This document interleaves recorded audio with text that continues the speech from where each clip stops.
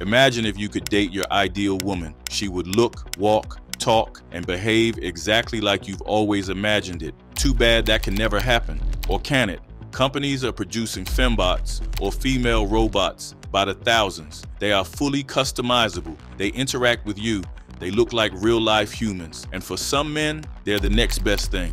So, does this mean these fembots will make women obsolete in the coming years? Keep watching to find out how this could become a multi billion dollar industry in the future. Just recently, Realbotix made a fembot named Aria. They kicked off the year with one of the most realistic looking female robots in the world. Their mission is to build robots that are as realistic as possible, hopefully bridging the gap between robots and humans. Wait, wait, wait. Why would anyone want to bridge that gap in the first place?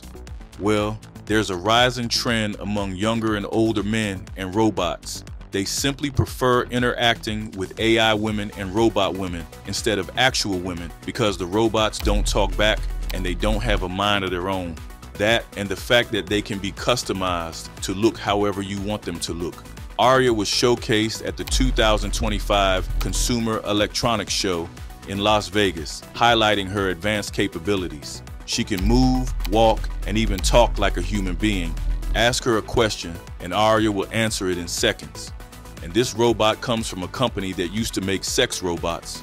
However, unlike some earlier models, Aria does not have genitalia and is not anatomically correct, as Realbotix no longer produces sex products.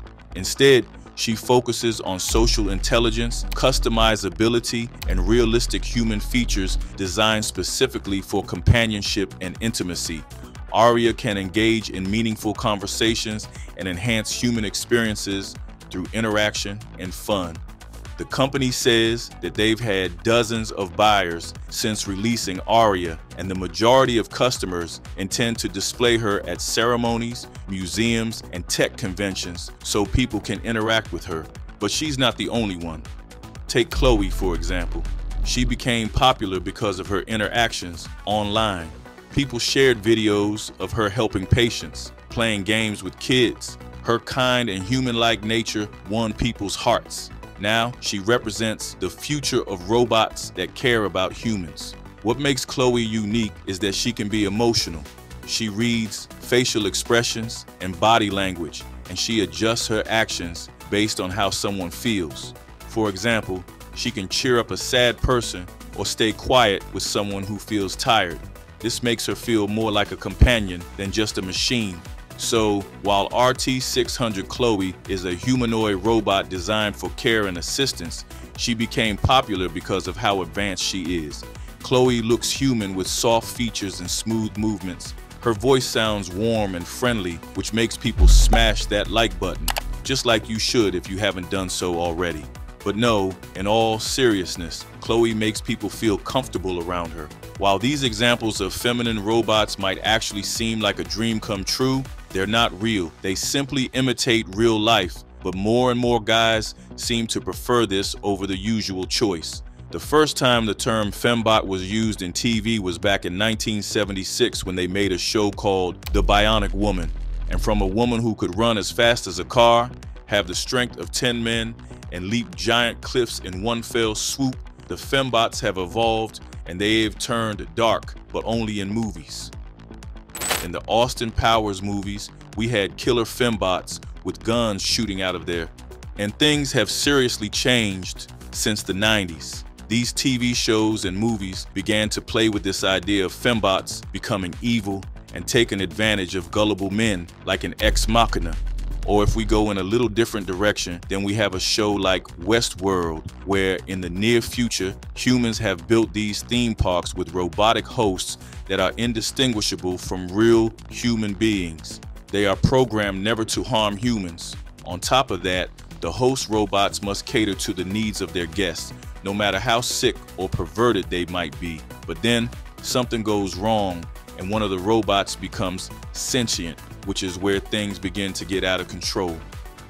Luckily, there's a writer who foresaw problems like these, and he came up with three laws to avoid this from ever happening again in the future. Back in 1942, Isaac Asimov, a science fiction writer, published a short story titled Runaround, which later became the central theme of many of his stories and novels. By publishing these stories, Asimov could explore the different ethical and practical dilemmas that exist in robotics and artificial intelligence. So he came up with three laws that every robot must abide by if they want to be a part of society. First, a robot may not harm a human being or, through inaction, allow a human being to come to harm. Second, a robot must obey the orders given to it by human beings, except where such orders would conflict with the first law. And third, a robot must protect its own existence as long as such protection does not conflict with the first or second law. But is this enough to stop men from interacting with these fake AI women on the internet, throwing money at them in return for a cold, emotionless hug or a meaningless act of copulation?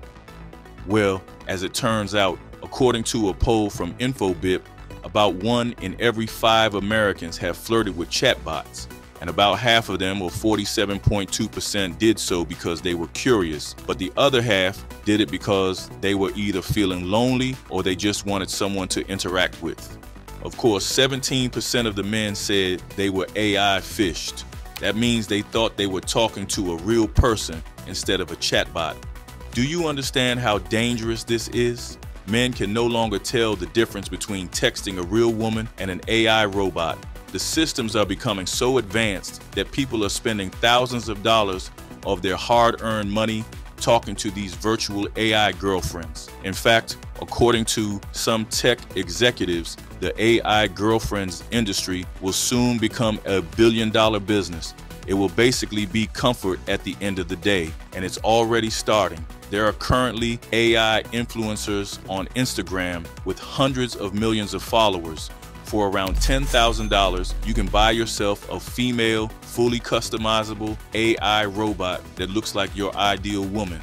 Plus, using AI text to speech software, this robot will talk and interact with you. If you're not quite there yet, then there are chatting services where you get to talk to the girl of your dreams for a few bucks a month. And the best part is you can customize her to tell you only stuff you like and never disagree with you. And the only reason this industry is growing is because people are paying good money for these virtual girlfriends because they offer, and I quote, comfort at the end of the day. For example, the CEO of Late Checkout, Greg Eisenberg, wrote a full blog post on X about his interview with a young man from Miami who spends around $10,000 a month on AI girlfriends. The guy was only 24 years old and he practically spent all of his money on these fake girls. How in the world does he spend $10,000 on AI girlfriends? Well, here's how he explained it. The young Miami man said, it's kind of like dating apps. You're not on only one. He added that the reason he loves these virtual girlfriends is because I get to customize my AI girlfriend, likes, dislikes, etc. It's comfort at the end of the day. And the sad thing is, he's not the only one. There are more and more people going on these apps seeking the same comfort at the end of the day that this Miami man wanted. Therefore, it's only a matter of time before someone creates an AI version of dating apps and levels the playing field.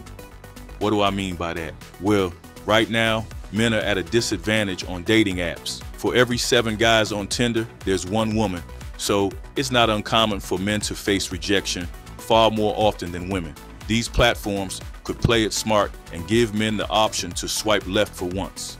Despite the consequences this might have on young men and how it will affect the dating game in the future, this is something men seem to want at the moment, and nothing will stop them from getting it, even if it means paying $10,000 a month. Here's another video AI enthusiasts loved watching. This is AI Exposed, demystifying the world of artificial intelligence, one video at a time.